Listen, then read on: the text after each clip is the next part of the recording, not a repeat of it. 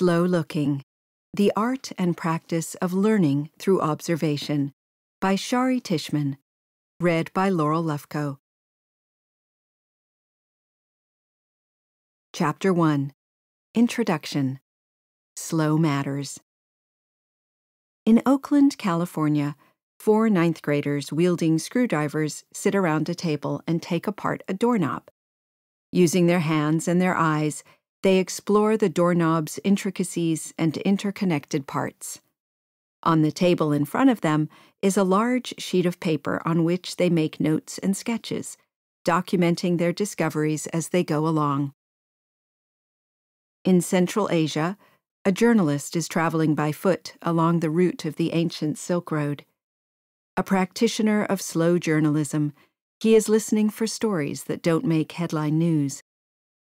In a suburb outside of Samarkand, Uzbekistan, he stops to visit with a traditional papermaker. He watches a water wheel power wooden mallets that pound tree bark into a fibrous pulp. He writes that when the paper is dried and polished, it feels as soft as silk. At the Museum of Fine Arts in Boston, Massachusetts, a group of medical residents gather in front of a large painting. Their purpose is to develop their observation skills through looking at art. A museum guide tells them to look closely at the painting and talk about what they see. As the conversation unfolds, the residents are surprised to discover how differently they each interpret the painting, even though they are all drawing on the same visual clues. The experience causes them to think anew about their own clinical practices. Across the river in Cambridge, Massachusetts, a middle school student bends close to a computer screen and enters the immersive virtual environment of a pond ecosystem. Shrinking herself down so she can get into a micro submarine, she explores the pond floor where she discovers some microscopic organisms. She carefully observes their behavior over a period of virtual days. In Chennai, India, an 11 year old girl takes a slow walk through her neighborhood with the intention of looking at her familiar environment with fresh eyes. She takes pictures and makes notes of things she has never noticed before. Later, she logs into an online forum where she posts the story of her walk. While she's there, she browses the posts of students in other countries who have taken similar walks and looks at their neighborhoods through their eyes. These are stories of slow looking in action. The definition of slow looking is straightforward. It simply means taking the time to carefully observe more than meets the eye at first glance. It is happening in each of these vignettes, and it happens anywhere people take a generous amount of time to observe the world closely in classrooms, in art galleries, in laboratories, online, in backyard gardens, and on neighborhood walks. This book is an exploration of slow looking as a mode of learning. The term slow looking uses the vernacular of the visual, but it is important to emphasize that learning through prolonged observation can occur through all of the senses. Most of the examples and ideas in this book are about visual observation, but many aren't, and I often use the term look to refer to sensory observation more broadly. So, for example, I might say that the ninth graders in the opening vignette are looking at a doorknob with their hands as well as their eyes.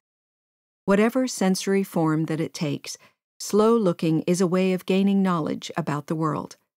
It helps us discern complexities that can't be grasped quickly, and it involves a distinctive set of skills and dispositions that have a different center of gravity than those involved in other modes of learning. I believe that it is also a learnable practice. I came to the topic of slow looking in a roundabout way.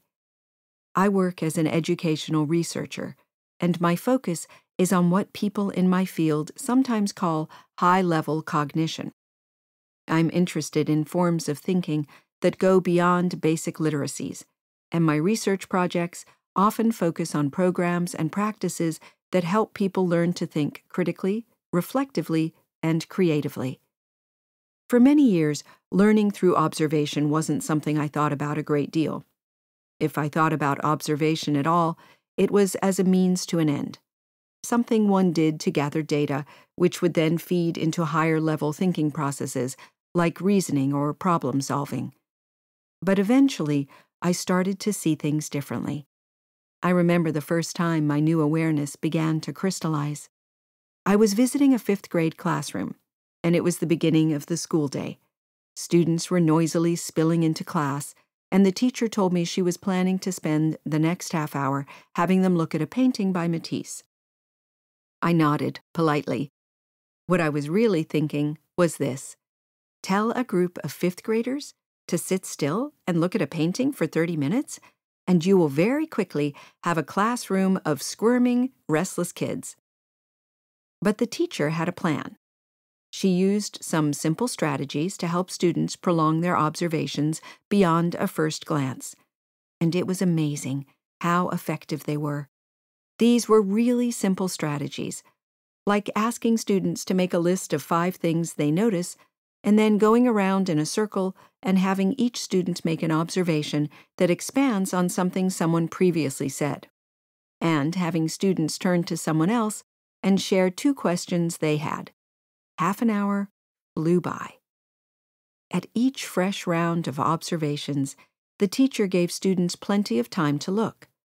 What she didn't do was give them much textbook information about the painting. Nonetheless, it was stunning how much students learned. For example, as their observations accumulated, they began to discern the structural complexity of the work, the way the various forms and colors and lines worked together to form a whole. They also detected several ambiguities in the painting, aspects of it that could be interpreted in different ways. The painting was of a colorful, vividly patterned dining room with an empty chair next to a table. The students wondered who the chair was for. The artist, maybe? They even envisioned themselves sitting in the chair and imagined what it would feel like. Nice, they thought, but maybe a little claustrophobic. And so on. Even if the students didn't come to consensus about the correct interpretation of the painting, if indeed there is one, and even though they couldn't recite historical information about the work, they had clearly learned a great deal. Moreover, the knowledge they gained depended wholly on the fact that they were looking long and closely for themselves. No amount of outside information could have replaced the insights they gained. After this experience, I started noticing the power of slow looking in other settings as well, inside and outside of schools. I became fascinated by how intrinsically engaging slow looking could be with just a little bit of structure to sustain it. I came to see it as a form of active cognition with an intrinsically rewarding feedback loop. The more you look, the more you see. The more you see, the more engaged you become. I began to wonder about the commonalities in observational practices across different contexts, in the arts and humanities, in science, and in everyday life. I sought out research projects where I could learn more about slow looking, and I increasingly incorporated slow looking into my own university teaching. I became interested in the presence of slow looking in historical ideas about schooling and in the history of museums. I grew curious about the connection between slow looking and the history of scientific observation, and about the connection between slow looking and literary description. Throughout, I continued to try to understand the learning benefits of slow looking and the educational practices that supported them. This book is the story of where these inquiries led. I've written it with educators in mind, and if you are looking for practical ideas and strategies to use in the classroom, you will find several of them here, particularly in the earlier and final chapters. You'll also find some exercises that invite you to try slow looking yourself. But many of the ideas and examples discussed in the book go far beyond the classroom. My hope is that the book will be of interest to anyone who is curious about slow looking, what it is, how to do it, and why it matters. slow is in the air. I am definitely not alone in my interest. An appreciation of all things slow is part of the culture these days, and there seems to be a date when it started. In 1986, an Italian food and wine journalist named Carlo Petrini organized a demonstration on the Spanish Steps in Rome in order to protest the intended opening of a McDonald's restaurant on the site. The event was credited with sparking the slow food movement, which celebrates local foods, sustainable food production, and the slow enjoyment of the traditional pleasures of the table. The movement has since spread worldwide and continues to thrive today. It is part of what seems to be a growing appetite for slow in contemporary culture. To give just a few examples, there is Slow Art Day, an annual event held in museums around the world with very simple rules. Go to an art museum, look at five pieces for five to ten minutes each, then have lunch with someone and talk about what you saw. There is also a slow education movement that eschews a fast food model of schooling designed to deliver what it calls packages of test shaped knowledge, and instead argues for schooling that encourages in depth learning and quality interactions between teachers and students. And there's slow journalism, practiced by a growing number of journalists who refuse to feed the public craving for instant information and instead emphasize moving slowly through the world, listening carefully to its stories, and reporting at a human pace. Not all of these slow trends foreground slow looking, but they all involve moving beyond first impressions toward more immersive, prolonged experiences that unfold slowly over time. To some extent, this book is part of that trend. But there are some features of slow looking as I define it that may not fit with the larger trend. One is that I don't believe slow looking is necessarily characterized by a quiet, meditative mood. As I learned when I walked into that fifth grade classroom, prolonged observation can be an energetic, lively affair. Of course, it can also be peaceful and tranquil, and even spiritual for some but it needn't be any of these things. I come back to this point in a later chapter, but I mention it now because I want to be clear that I lean toward an expansive rather than narrow view of slow looking. People of almost all ages can do it, and it can happen in many moods and at many tempos. Nor do I believe that slow looking is necessarily anti technology, even though the speed of digital life can pose a challenge to slow. We live in the digital age. Immersive social media, omnipresent news streams, endless information at the tap of a finger all have the potential to fracture attention spans. But digital technologies and media can also be powerful tools to help people look closely at things they may otherwise overlook.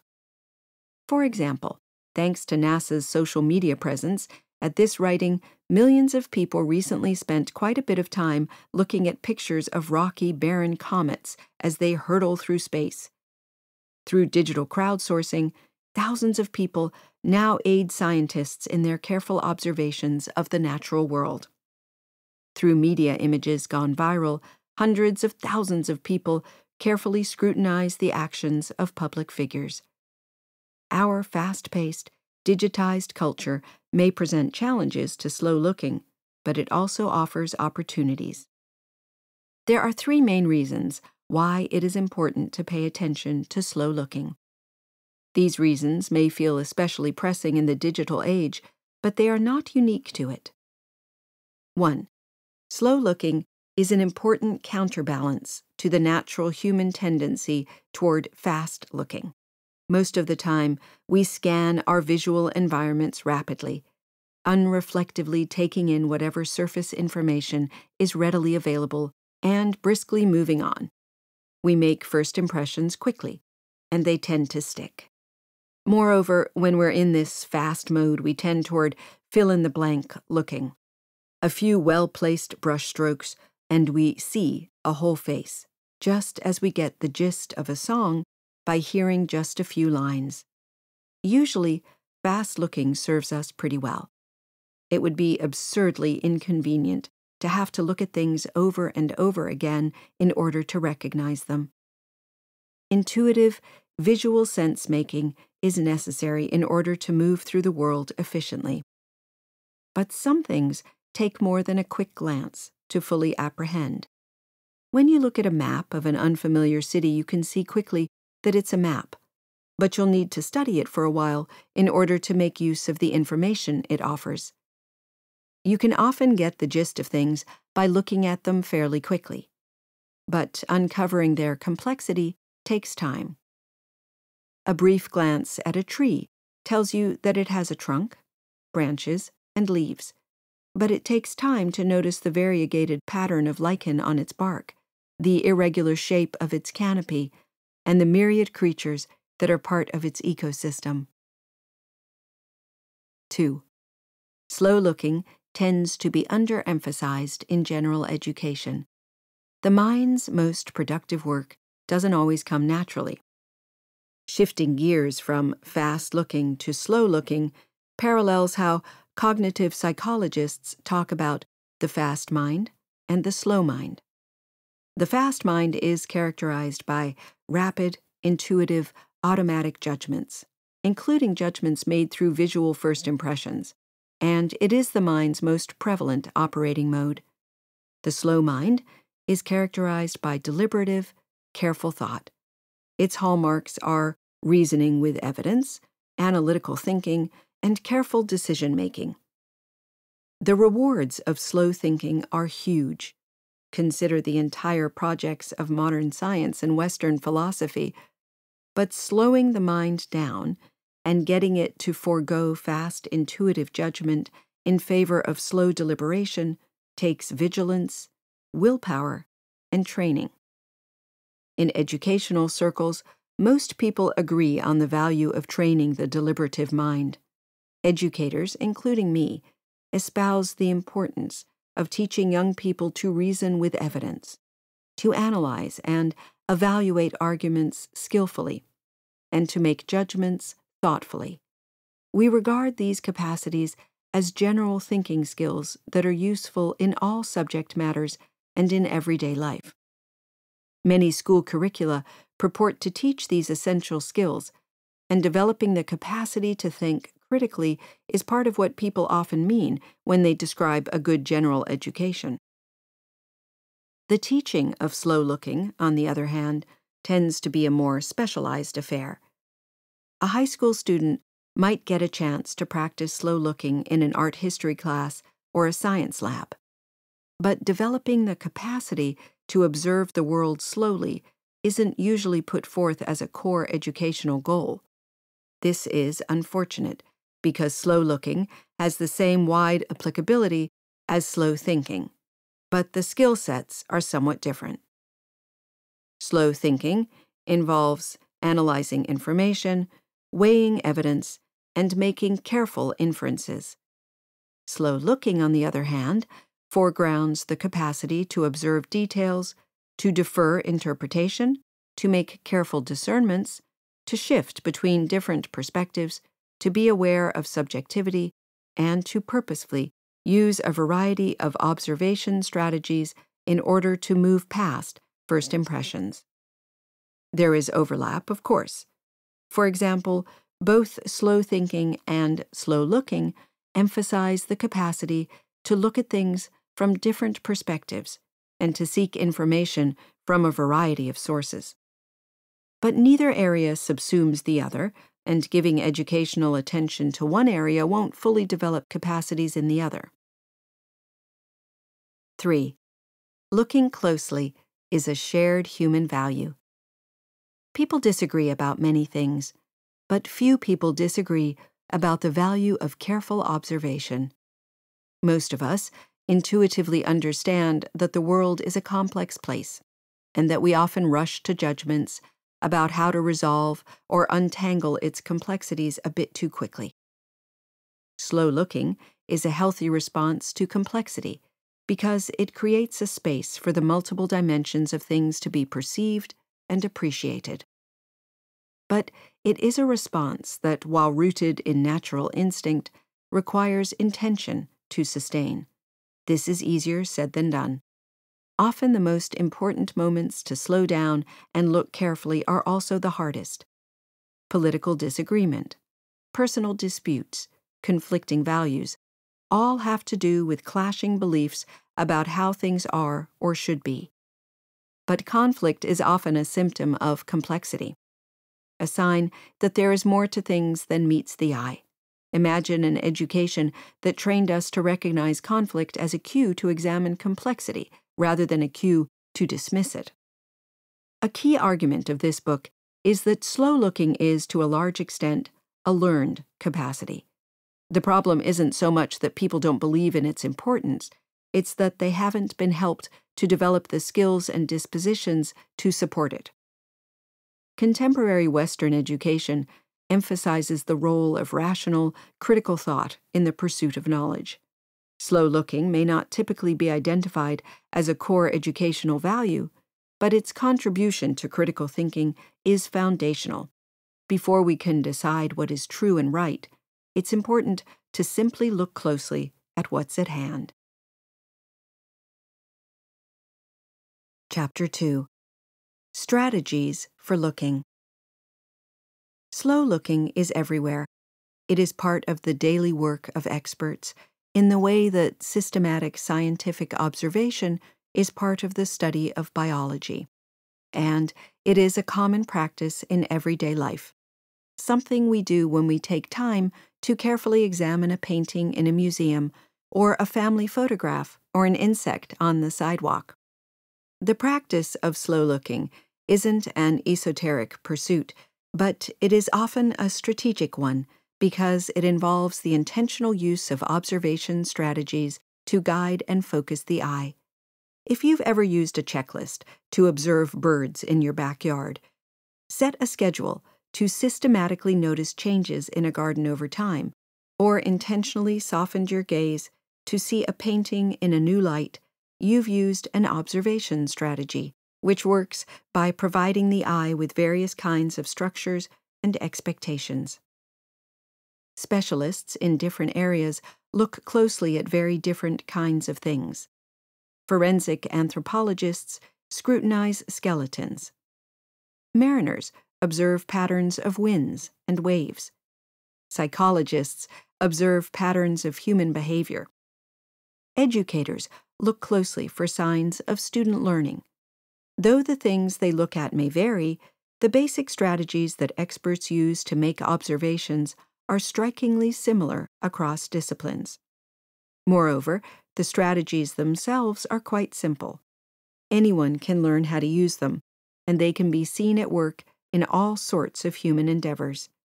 This chapter looks at four of these broad observation strategies, drawing examples from science, art, and everyday life. Categories to guide the eye. It's a rainy Saturday afternoon, and the entrance hall of the Art Museum echoes with chatter as visitors shake out umbrellas and line up to purchase tickets.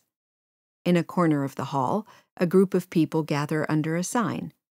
Public tour begins here at 2 p.m. Slow looking. All welcome. Soon a museum guide arrives.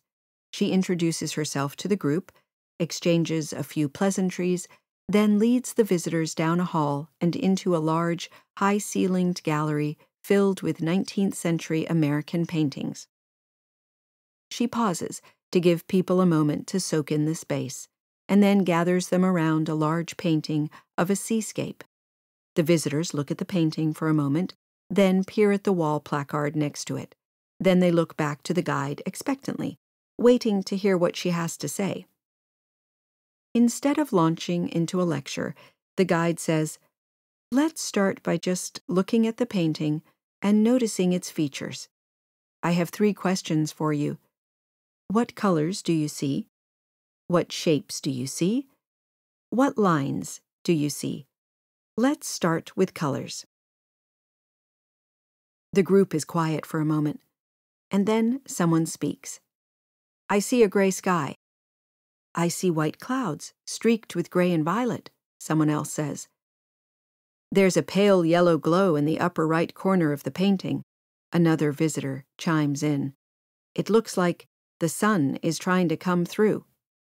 Soon everyone is pointing out colors in the sky. Eventually, people's attention shifts downward to the lower half of the painting, and they start describing the color of the sea. At first, they describe it as blue or bluish green. But someone points out a streak of silvery purple, and suddenly the visitors begin to see a variety of hues and tones in the water that they hadn't seen at first. Someone observes that the color of the water is reflecting the color of the sky, and people's eyes return to the sky, this time noticing subtleties of coloration they hadn't noticed before. To elicit these observations, the museum guide is using the most common observation strategy, the use of categories, to guide the eye. In its broadest form, this strategy works by instructing the eye to look for certain types of things. The museum guide uses the categories of color, shape, and line. In another discipline, the categories might be quite different. For example, physicians use categories to help them recognize typical symptoms of illnesses skin color, breath odor. Archaeologists use categories to help focus their attention on specific sets of features in a landscape that may indicate the presence of buried artifacts, concavities, ridges. Detectives investigating property theft look for specific kinds of clues to help them identify the thief tool marks, footprints, fibers. Categories vary widely across contexts, but their basic purpose is the same. They function as a lens to selectively focus the flow of perception on certain features. They operate at a conscious and unconscious level, and it is impossible to imagine human cognition without them. Categories are at work in the expectations, purposes, and assumptions we bring to any experience, allowing us to see certain things rather than others. For example, when the museum visitors entered the gallery of 19th century painting, they expected to see paintings, which is exactly what they noticed. They probably also noticed the wooden benches in the middle of the gallery since they had to walk around them but mainly they were focused on the art on the walls. Some visitors may have also noticed the color of the walls, a creamy beige, and perhaps a few of them noticed details like the exit signs and the scuffed wood of the gallery floor. But probably nobody noticed the shape of the light fixtures high on the ceiling, or the motes of dust in the corner, or the even paces of a museum guard as he walked slowly around the perimeter of the gallery. Lift your eyes from this page for a moment and look at what's in front of you. You might think you can count the number of things you see, but with millions, if not billions, of visual stimuli flooding your eye in any given moment, it's impossible for the mind to consciously process all the visual information that comes its way. It is essential to have a filtering mechanism. Otherwise, we couldn't walk across the room without being overwhelmed. But as much as we depend on the mind's workaday, unconscious filtering, so too can we consciously overlay it with category strategies to direct the flow of our attention to things we might otherwise overlook. For example, if the museum guide were to ask her visitors to intentionally try to notice the color of the walls or the dress of other visitors in the gallery, or the quality of light, or any number of other things, they could easily do so. But this shift of attentional focus would come at a price. By looking at these things, the visitors would probably be paying much less attention to the paintings. The thing is, we can't be aware of everything we see, although, as I'll discuss in a moment, there can be strategic benefit in trying to do so selective attention is a powerful force. We can select what we choose to look at, but doing so necessarily blinds us to other things. One thing that may alter this system is surprise. When something surprising enters our visual field, we often have the sensation of just seeing it without having to shift our expectations in order to discern it. For instance, surely our museum visitors would notice if a clown on stilts walked through the gallery, even if they are focused on looking at the paintings. Or would they? It might depend on how intently they are looking for colors, shapes, and lines. Sometimes our gaze is so fixed on looking for a certain type of thing that we can be astoundingly blind to things outside of our attentional focus. A dramatic example of this comes from the work of cognitive scientist Daniel Simons and his colleague Christopher Chabris. A number of years ago, Simons donned a gorilla suit, and the two psychologists conducted an experiment that has become a bit of a sensation. Here's how it goes. Subjects are asked to watch a short video of six people wandering around, passing basketballs to each other. Three people are wearing black shirts, three are wearing white shirts. The task is to count the number of passes the people in white shirts make. There's a lot of walking and passing going on, and it takes some concentration to focus on the white shirted people. Hint category. Midway through the video, a gorilla walks into the midst of the perambulating people. He pauses to face the camera, thumps his chest, and then strolls off screen. Incredibly, when the experiment was first conducted at Harvard University in 1999, before the video had gone viral, half of the viewers who were focused on the counting task didn't even see the gorilla. The categories we use to focus our attention profoundly shape what we see. They also shape what we think. Consider the categories that the museum guide chose. Color, shape, and line are certain formal elements of a painting. While the specificity of these categories seems to do a good job of getting visitors to slow down and look carefully, their selectivity also communicates ideas about value and importance. So, are these the right categories to use when looking at art? It's a good question to ask, even if there isn't a right answer. For example, a formalist art theorist might argue that the museum guide's strategy is inadequate because it fails to guide the eye to other important formal features of the painting, such as scale and proportion or the geometrical organization of the canvas.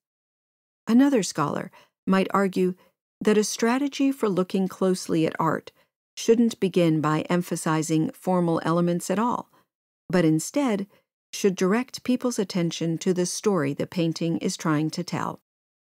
Yet another scholar might argue that what's important is to look at features in the work that show the cultural influence of the time and social context in which the painting was made.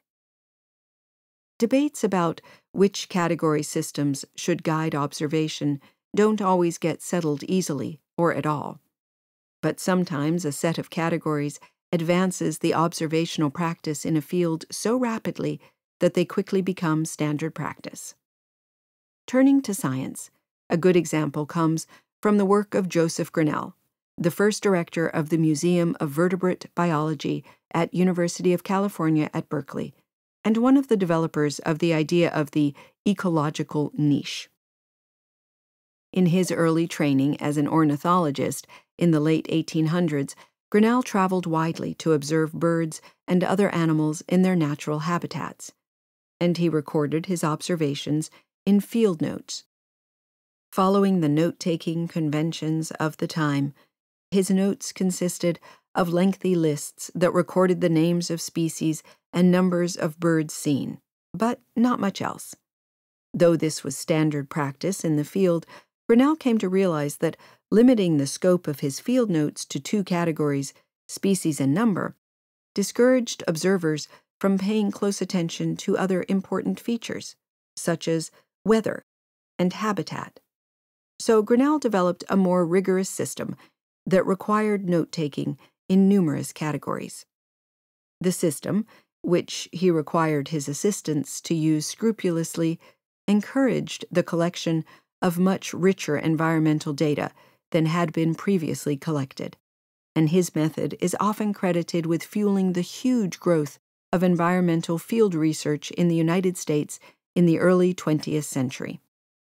More than a century later, the Grinnellian method is still standard practice for many naturalists today. Exercise. Try this. Color, shape, line. Use this strategy with an art image, a view of nature, a cityscape, or whatever environment you happen to be in now. What colors do you see? Describe several. What shapes do you see? Describe several. What lines do you see? Describe several. Do it alone or do it with someone else, and share your observations. Open inventories. Grinnell's field notes have been preserved and made available for study by the Museum of Vertebrate Zoology at the University of California at Berkeley. Scholar Catherine Carson has examined them closely and notes an interesting change over time. She observes that when Grinnell first established his method, he followed it fairly rigorously. Over the years, however, his notes became more relaxed to include extensive subjective descriptions and wide ranging observations. As a mature scientist, Grinnell came to believe that it was impossible to know in advance what would be important to science in the future, and his later notes reflect this. Though he always required his assistants to adhere strictly to the note taking system he developed, in later years he expanded the system to require extra notebook pages for capturing seemingly unimportant observations. In other words, his technique was this Use a set of categories to look thoroughly for certain kinds of things. Then write down everything else you see, just in case. He had good foresight. Today, scientists are examining the notes of Grinnell and his associates for clues about contemporary climate change, something Grinnell could not have anticipated.